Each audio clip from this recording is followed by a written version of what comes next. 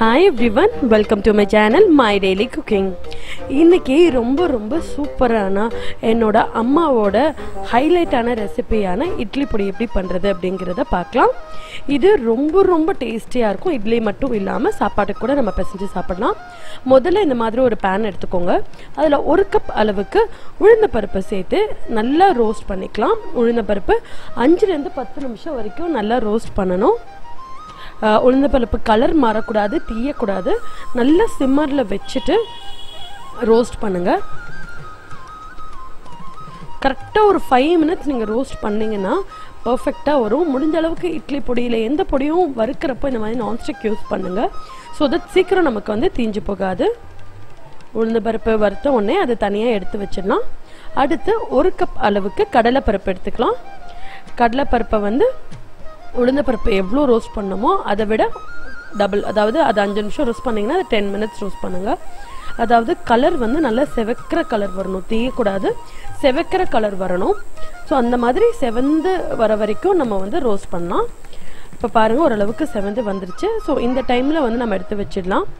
அடுத்து பார்த்தீங்கன்னா நம்ம வந்து உடச்ச கடலை வந்து ரோஸ்ட் பண்ணுறோம் ரெண்டு அதாவது ஒரு பங்கு உள்ள உளுந்து பருப்பு ஒரு பங்கு கடலை மாவுனா ரெண்டு பங்கு உடச்ச கடலை. அதையும் கலர் லைட்டாக மாறுற வரைக்கும் நம்ம ரோஸ்ட் பண்ணி தனியாக எடுத்து வச்சுக்கலாம்.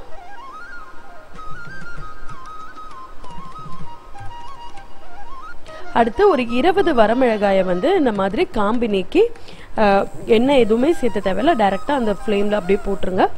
போட்டு நல்லா ரோஸ்ட் பண்ணுங்கள் ஒரு டூ டு த்ரீ மினிட்ஸ் வந்து நம்ம ரோஸ்ட் பண்ண உடனே ஒரு கைப்பிடி அளவுக்கு வந்து கருவேப்பிலை இலைகளை சேர்த்திக்கலாம். கருவேப்பிலை இலைகளும் அந்த வரமிளகாயும் வந்து நல்லா கிறிஸ்பாக ஆகணும்.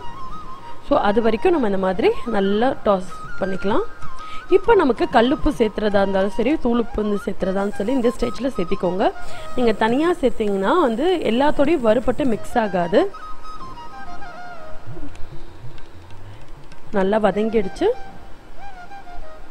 இப்போ பார்த்தீங்கனாலே அந்த கிறிஸ்ப்னஸ் ஃபார்ம் ஆகிடுச்சு ஸோ இந்த சமயத்தில் நம்ம வந்து கொஞ்சமாக வந்து பெருங்காயம் ஆட் பண்ணிக்கலாம். நான் வந்து இந்த மாதிரி க்ரஷரில் இருக்கும் இல்லையா பெருங்காயம் அதை ஆட் பண்ணிக்கிறேன். முடிஞ்ச அளவுக்கு கட்டி பெருங்காயமாக நீங்கள் சேர்த்திக்கோங்க. பெருங்காயமும் ஒரு நாலுலேருந்து அஞ்சு நிமிஷம் வரைக்கும் நல்லா வந்து வதங்கட்டும்.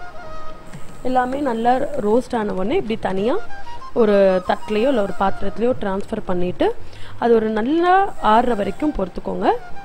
பாருங்கள் நல்லா ஆறிடுச்சு. இப்போ கொஞ்சம் கொஞ்சமாக நம்ம வந்து மிக்ஸி ஜாரில் சேர்த்துட்டு அரைச்சிக்கலாம். அதாவது நீங்கள் ஒரு நாலு கப் ஃபஸ்ட்டு போடுறீங்கன்னு வச்சுக்கோங்களேன். அதை அரைச்சி அந்த பொடியோடையும் மீதி இருக்கிறதையும் போடுங்க. ஸோ அந்த மாதிரி போட்டு இப்படி கம்ப்ளீட்டாக அரைச்சிக்கலாம். இது பார்த்தீங்கன்னா நம்ம உடச்சக்கடலை போட்டிருக்கிறதுனால பொடி வந்து ஸ்மூத்தாக இருக்கிற மாதிரி இருக்கும். பட் நீங்கள் சாப்பிட்றப்ப தான் அந்த கொரக்கொரப்புனஸ் வந்து நமக்கு கிடைக்கும். ரொம்ப ரொம்ப டேஸ்ட்டாக இருக்குங்க அந்த பொடி. கண்டிப்பாக நீங்கள் வீட்டில் ட்ரை பண்ணுங்கள் நார்மலாக நீங்கள் சாப்பிட்ற பொடிக்கும் இதுக்கும் கொஞ்சம் டிஃப்ரென்ஸ் இருக்கும். சாதத்தோடு நீங்கள் சாப்பிட்லாம். நல்லெண்ணெய் நெய் தேங்காய் எண்ணெய் எது வேணாலும் இதோட காம்பினேஷன் பண்ணலாம். சூப்பராக இருக்கும். கண்டிப்பாக வீட்டில் ட்ரை பண்ணிவிட்டு எப்படி இருக்குது அப்படிங்கிறத உங்களோட ஃபீட்பேக்கை எனக்கு கீழே இருக்க காமெண்ட் பாக்ஸில் சொல்லுங்கள் உங்களுக்கு நம்ம சேனல் பிடிச்சிருக்கு. நீங்கள் சேனலை ஃபஸ்ட் டைம் பார்க்குறீங்க அப்படின்னா மறக்காமல் சப்ஸ்கிரைப் பண்ணிக்கோங்க. பக்கத்தில் இருக்க நோட்டிஃபிகேஷன் பெல் பட்டனையும் கிளிக் பண்ணுங்கள் அப்போ தான் ஒவ்வொரு தடவையும் நான் ஒரு வீடியோ போடுறப்போ உங்களுக்கு நோட்டிஃபை ஆகும். நன்றி. மீண்டும் ஒரு சுவையான வீடியோவில் உங்களை மறுபடியும் சந்திக்கிறேன்.